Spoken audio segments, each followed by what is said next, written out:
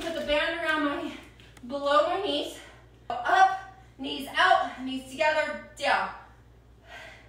The reason why I put the band below my knees is because my quads make the band roll and then it goes all over the place.